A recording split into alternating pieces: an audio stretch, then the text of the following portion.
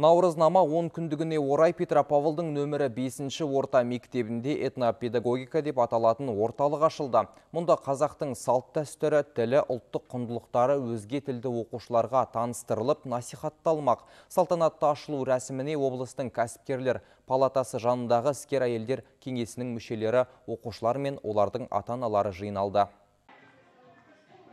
Бұл орталық білім берушілердің ұлттық рух жігерін ұштайтын, білім алушылардың патриоттық сезіміне қозғау салатын, оларға ұлттық тәлім тәрбие мен рухани қорек беретін алаң. Мұнда бірінші сынып оқушыларынан бастап 11 сыныпқа дейін қазақ тілі пәнінен дәріс өтіледі. Оған қоса орталықта домбыра, қолөнер үйірмесі жұмыс істейді. Тоғызқұмалақ, асық сынды қазақтың ұлттық ойындары жас ұрпаққа үйретіліп насихатталады. Бұл кабинетте талай шаралар болады яғни біздің қазақи тәрбие беру қазақи ұлттық тәрбие беру үшін әрине бізге орталық қажет болды. Этнопедагогика үлкен талай ғасырлар қалыптасқан ғылым арқылы қазақтың ұлттық ойындары өнері қол өнері арқылы салты дәстүрі арқылы біз осы орыс тілінде білім алып жатқан балаларға осындай тәрбие бермекшіміз.